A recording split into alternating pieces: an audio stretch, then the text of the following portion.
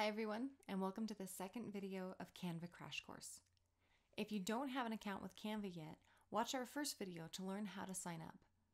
In this video, we'll log into Canva and introduce you to your home screen and show you how to navigate it. Let's get started. To log into Canva, you'll go back to canva.com.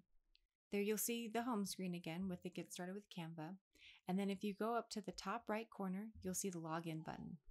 From there, you'll input your information that you use to create your account. For me, I just go ahead and log in with Google. Once you've logged in, you'll see your home screen.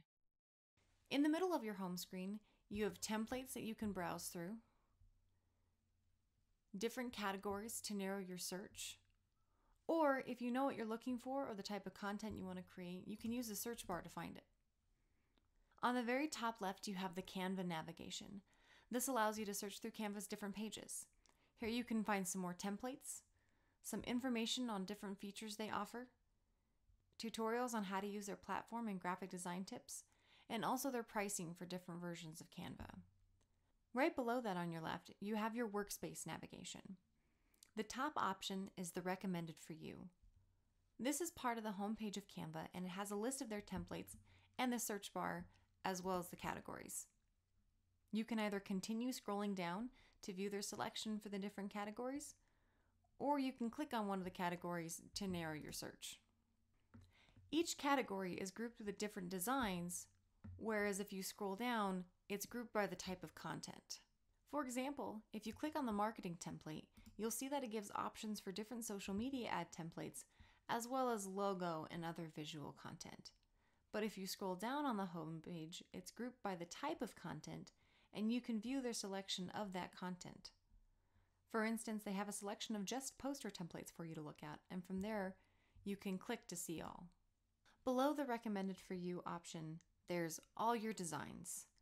Once you start creating designs, they'll be saved here so you can edit them or reference them for other designs. If you have a lot of work, you can group them into folders. After all your designs is the shared with you. Canva allows you to share designs with other people and collaborate. If you have a team or other people you are working with who also are using Canva, you can share your designs with them. Below shared with you is the brand kit. As we talked about before, Canva has different pricing options for different versions. One of these versions is Canva Pro. With Canva Pro, you'll have access to the brand kit, which allows you to create a color palette to help you with consistency. You can keep your brand logo designs in one area, as well as any chosen fonts that you have that you want to use for your designs. Canva Pro offers access to more visual content such as photos and graphics and is not a bad option, but you can still do a lot with Canva's free version and have access to a lot of their content. Canva's free version is great for people who are looking for a simple and easy to use graphic design platform to help their business. There is also the option to buy certain content without having to sign up for Canva Pro. You can do this with some of Canva's photos. After the brand kit, you have all your folders. Here you can view all your designs again and look through your liked photos. Or, if you haven't already, they give you the option to start browsing. You can look through your purchase content. Some of Canva's photos require a one time payment for different license agreements for the photos. Most of the photos are multi use licenses, so you can download the photo and use it in and out of Canva for a one time fee. You can also look through your shared designs again, and there's also a photo for your uploads.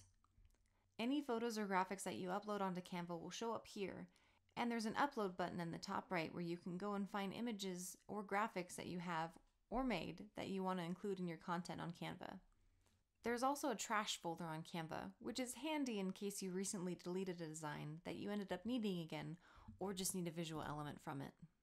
After all your folders is the trash option again, and below that is your team. You can create a team on Canva by inviting people to join your team and entering their email address in the sections below. If you have a lot of people on your team, you can form them into groups. And you can also share folders with them. Below your team option, you have your likes, purchased, and uploads again reiterated. Well, there you go. This was a quick introductory video to show you how to navigate your homepage and your workspace. In our next video, we'll go over how to use Canva's artboard and we'll walk through how to create a logo design using Canva's templates. That's it for this video today. Thanks for watching.